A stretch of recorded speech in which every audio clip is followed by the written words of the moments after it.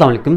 Dear students आज का जो हम क्वेश्चन डिस्कस करेंगे वो पास पेपर 2021 का है, लेकिन ये क्वेश्चन बहुत ही आसान भी है और सबसे ज़्यादा इम्पोर्टेंट क्वेश्चन है चैप्टर नंबर फाइव का। और ये चैप्टर नंबर फाइव का ऐसा क्वेश्चन है जिसको आप अगर सॉल्व करते हैं तो 80 परसेंट आप लोगों को चैप्टर नंबर फाइव आ जाएगा। इसको आपने मिस नहीं करना फुल वॉच करना इनशाला मैं आपको गारंटी से कहता हूँ हंड्रेड एंड वन परसेंट आप लोगों को कहता हूँ कि ये वाला क्वेश्चन आप लोगों को लाजमी आएगा, ठीक है? और बहुत ही आसान है, ठीक है? तो देखिए, सबसे पहले इसमें क्वेश्चन में है क्या? एक ए मैट्रिक्स है, एक एस मैट्रिक्स है। ये दो मैट्रिक्स हैं। ठीक है? उसमें वो, पहले नंबर पे वो क्या कहता है? पहले नंबर पे वो कहता है कि फाइंड एस ए हमने पहले नंबर पे फाइंड आउट करना है। पहले नंबर पे हमने फाइंड आउट करना है एस ए इसका मतलब क्या है? इसका मतलब यह है कि एस और ए को मल्टीप्लाई करना है, क्योंकि ए और एस के दरमियान कोई अलामत नहीं है, कोई साइन नहीं है। दैट मीन्स कि इनको हमने मल्टीप्लाई करना है, ठीक है? तो हम मल्टीप्लाई करते हैं। सबसे पहले यहाँ पे देखिए एस लिखा हुआ है। तो यहाँ पे पहले आप एस लिखेंगे। एस क्या दिया हुआ है? एस दिया हुआ है वन वन वन वन। ठीक है? तो हम ये लिख लेंगे one one one and one. ठीक है? आगे क्या दिया हुआ है? आगे दिया हुआ ए तो एक जगह पे क्या लिखेंगे? एक जगह पे ये वाला मैट्रिक्स लिखेंगे। ठीक है? Eight seven six eight eight seven six and eight six nine eleven five six nine eleven and five four three two zero four three two and zero zero two one three zero two one and three अब इनको multiply करना है, ठीक है? तो देखिए, बड़ा simple सा है। मल्टीप्लाई करना बड़ा आसान है, कोई मुश्किल काम नहीं है। सबसे पहले आपने ये वाली रो लेनी है। इस रो को आपने पहले कॉलम से मल्टीप्लाई करना है। ये वाला पहला कॉलम है, ठीक है? मल्टीप्लाई कैसे करना है? कि ये जो पहला नंबर है इसको पहले नंबर से मल्टीप्लाई करना है। एक को आठ से मल्टीप्लाई करना है, ठीक है? तो आठ को एक से मल्टीप्लाई करेंगे, क्या आएगा? आठ। फिर दूसरे नंबर को दूसरे से मल्टीप्लाई करना है। एक को छह से जरब करेंगे तो क्या आएगा? छ तीसरे नंबर को तीसरे से जरब करना है। एक को चार से जरब करेंगे तो आ जाएगा चार। चौथे को चौथे नंबर से मल्टीप्लाई करना है, ठीक है? तो यहाँ पे ये ज़ीरो है। वन को ज़ीरो से मल्टीप्लाई करेंगे क्या आ जाएगा? ज़ीरो उम्मीद करता हूँ कि ये समझ आ गया होगा आप, आप लोगों को। अच्छा अब इसके बाद अब आप लोगों ने मल्टीप्लाई करना है इस रो को अगले कॉलम से। अगला कॉलम कौन सा है? अगला कॉलम ये वाला सात नौ तीन और दो। ठीक है? सात नौ तीन और दो। इनको मल्टीप्लाई करना है। तो पहला नंबर पहले के साथ, एक को सात से मल्टीप्लाई करेंगे, सात आ जाएगा। एक को नौ से जरब करेंगे तो नौ आ जाएगा। एक को तीन से ज़रब करेंगे तो तीन आ जाएगा। एक को दो से ज़रब करेंगे तो दो आ जाएगा। ठीक है? इसी तरीके से इस रो को आपने मल्टीप्लाई करना है थर्ड कॉलम से। ठीक है? थर्ड कॉलम से। तो थर्ड कॉलम हमारे पास क्या दिया हुआ है? Six eleven two and one इनको मल्टीप्लाई करना है। सिक्स को वन से मल्टीप्लाई करेंगे। सिक्स आ जाएगा। वन को इलेवन से मल्टीप्लाई करेंगे तो इलेवन आ जाएगा। वन को टू से मल्टीप्लाई करेंगे तो टू आ जाएगा। वन को वन से मल्टीप्लाई करेंगे तो वन आ जाएगा। ठीक है? अब बारी है नेक्स्ट कॉलम की। इस रो को आपने नेक्स्ट लास्ट कॉलम से मल्टीप्लाई करना है। ये हमारे पास एट है। वन को एट से मल्टीप्लाई करेंगे तो ये आ जाएगा एट वन को फाइव से मल्टीप्लाई करेंगे तो आ जाएगा फाइव वन को ज़ीरो से मल्टीप्लाई करेंगे तो आ जाएगा ज़ीरो वन को थ्री से मल्टीप्लाई करेंगे तो आ जाएगा थ्री ले जी. ये काम है, इस तरह से आप लोगों ने मल्टीप्लाई करना है. ठीक है? अब देखिए, इनको ऐड करना सिंपली आठ और छः चौदह चौदह और चार, अठारह. अठारह में ज़ीरो ऐड करेंगे तो अठारह ही आएगा. सात और नौ, सोलह सोलह और तीन, उन्नीस उन्नीस और दो, इक्कीस. ठीक है? सात और नौ, सोलह सोलह और तीन, उन्नीस उन्नीस और दो, इक्कीस. चलिए, ठीक हो गया. सॉरी अच्छा इसके बाद ग्यारह और छः सत्रह सत्रह और दो, उन्नीस उन्नीस और एक, बीस। आठ और पाँच, तेरह तेरह और ज़ीरो, तेरह। तेरह में तीन ऐड करेंगे तो क्या आएगा? सोलह। ले जी, ये हमारे पास आंसर आ चुका है एस ए का। एक क्वेश्चन हमारा सोल्व हो चुका है। यहाँ पे जो फ़र्स्ट पार्ट है ना, उसमें ये कहा गया कि एस ए फाइंड आउट करें। सिंपल, ये हमारा आंसर आ चुका है।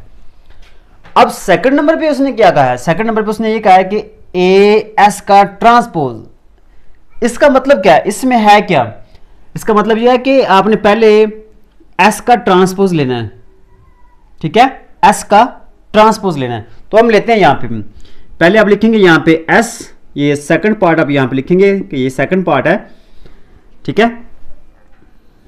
सेकंड पार्ट को हम सोल्व करेंगे. एस इक्वल टू यहाँ पे दिया हुआ है one one one and one सबसे पहले हम इसका ट्रांसपोज लेंगे. तो ट्रांसपोज लेंगे क्या आएगा? ये जो रो है, ये रो है, इसको अपनी कॉलम में बदल देना है. इस तरीके से. ठीक है? क्या करना है? कॉलम में बदल देना है. वन वन एंड वन उम्मीद करता हूँ कि आप लोगों को इसकी समझ आ गई होगी. अब उसके बाद यहाँ पे देखिएगा एस का ट्रांसपोज ये वाला हो चुका है। अब इनको मल्टीप्लाई करना है। सिंपल क्या करना है? मल्टीप्लाई करना है। तो यहाँ पे आप मल्टीप्लाई करेंगे। ए एस का ट्रांसपोज तो सिंपल है। पहले आप लिखेंगे ये ए पहले दिया हुआ है। तो यहाँ पे आप पहले ए लिखेंगे। एट सेवन सिक्स और एट एट सेवन सिक्स और एट सिक्स नाइन इलेवन और five six, nine, eleven and five, ठीक है? Four, three, two, zero. Four, three, two and zero. Zero, two, one, three. Zero, two, one and three. ले जी। ये ए आ गया है। अब आगे हमने क्या लिखना है? एस का ट्रांसपोज। ये जो एस का ट्रांसपोज, ये वाला आंसर आया है, इसको आपने यहाँ पे लिख लेना है। One one one and one. ले जी। उम्मीद करता हूँ कि आप लोगों को इसकी समझ आ गई होगी। अब उसके बाद हमने नेक्स्ट काम करना है है इनको मल्टीप्लाई करना है। तो मैं यहाँ पे ये वाला रेज कर देता हूँ, ठीक है? आसानी के लिए, ताकि बड़ा बड़ा करके लिख सकूँ, और आप लोगों को सही सही नज़र आ सके, ठीक है? ले जी चलिए आप देखिएगा, अब इनको मल्टीप्लाई करना है। एट को वन से, ये अपने फ़र्स्ट रो लेनी है। एट सेवन सिक्स एट ये फ़र्स्ट रो है, इसको आपने कॉलम से मल्टीप्लाई करना है। एट को वन से मल्टीप्लाई करेंगे, क्या आएगा? एट सेवन को वन से मल्टीप्लाई करेंगे तो क्या आएगा? सेवन सिक्स को वन से मल्टीप्लाई करेंगे, क्या आएगा? सिक्स और एट को वन से मल्टीप्लाई करेंगे, क्या आएगा? एट इस तरीके से इनको मल्टीप्लाई करना है। ठीक है? तो ये हमारे पास किसका आंसर आएगा? ए एस का ट्रांसपोज तो ये हमने फ़र्स्ट रो को हमने मल्टीप्लाई कर लिया है। अब सेकंड रो की बारी है। सिक्स को वन से मल्टीप्लाई करेंगे। सिक्स नाइन को वन से मल्टीप्लाई करेंगे तो ये नाइन आ जाएगा। इलेवन और फाइव को भी मल्टीप्लाई करेंगे तो क्या आएगा? इलेवन और फाइव ही आएगा, क्योंकि ये सारे नंबर वन ही हैं। ऐसे ही फोर और थ्री को वन से मल्टीप्लाई करेंगे। फोर और थ्री ही आएगा। टू और ज़ीरो को मल्टीप्लाई करेंगे तो क्या आएगा? टू और ज़ीरो ही आएगा। इसी तरीके से ज़ीरो को वन से मल्टीप्लाई करेंगे तो ज़ीरो आएगा, टू को वन से मल्टीप्लाई करेंगे तो टू आ जाएगा, और वन को वन से मल्टीप्लाई करेंगे वन, थ्री को वन से मल्टीप्लाई करेंगे थ्री, ठीक है? ले जी इस तरीके से इनको मल्टीप्लाई करना है।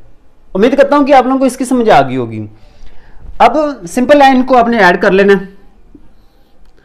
ऐड करेंगे तो आठ और सात, पंद्रह पंद्रह और छः इक्कीस इक्कीस और आठ, उनतीस। ले जी ठीक है? हाँ ये ऐड करते वक्त तो मुझसे गलती हो सकती है, लेकिन आप लोग अगर गलती हो जाए तो आपने इग्नोर करना है। करेक्ट कर लेना इसको। सिक्स और नाइन छः और नौ, पंद्रह पंद्रह और ग्यारह, छब्बीस छब्बीस और पाँच, इकतीस। चार और तीन, सात सात और दो, नौ। दो और एक, तीन तीन और तीन छ ले जी, ये थी मल्टीप्लीकेशन और ये दो पार्ट थे। बड़ा आसान क्वेश्चन है ये वाला, ठीक है? याद रखना है, ये एस है और ये ए है। ये ना हो कि आप वहाँ पे भूल जाएँगे ये पता नहीं एस कहाँ पे दिया हुआ है। आपने स्टेटमेंट को, सभी को, सारे स्टेटमेंट को अपने पढ़ना है। अच्छे तरीके से रीड आउट करना है। ठीक है? आप लोगों को अगर क्वेश्चन की समझ आ जाती है स्टेटमेंट की समझ आ जाती है तो समझ लें कि आधा क्वेश्चन आपकी ग्रिप में है कि आपको स्टेटमेंट की समझ आ गई है। लेकिन अगर स्टेटमेंट की समझ नहीं आ रही है आप लोगों को कि करना क्या है एक्चुअली तो फिर क्वेश्चन जो ना अगर आता भी हो तो वो भूल जाता है। ठीक है? और पेपर सोल्व करते वक्त आप लोगों ने परेशान नहीं होना, घबराना नहीं है, ठीक है? बिस्मिल्लाह करके स्टार्ट करना है। सबसे पहले वो क्वेश्चन करना है जो आप लोगों को आता है। बिल्कुल हंड्रेड परसेंट वो क्वेश्चन करना है। सेकंड नंबर पे भी आपने वो क्वेश्चन करना है जो आपको हंड्रेड एंड वन परसेंट आपको श्योरिटी है कि ये क्वेश्चन मुझे बिल्कुल सही आता है। आपने वो करना है। पहले ये सारे इस तरह से क्वेश्चन करने हैं। एंड पे जाके वो क्वेश्चन करना है जो जिस पे आप थोड़ा सा आपको डाउट है, ठीक है? इससे बहुत बड़ा फ़र्क पड़ता है और आपके अच्छे मार्क्स बन जाएँगे इस तरीके से। मैथड फॉलो करना है ज़रूर। और मैं आपको गारंटी से करता हूँ इजीली अच्छे मार्क्स से पास हो जाएँगे। मिलते हैं नेक्स्ट वीडियो में। तब तक के लिए अल्लाह हाफिज़।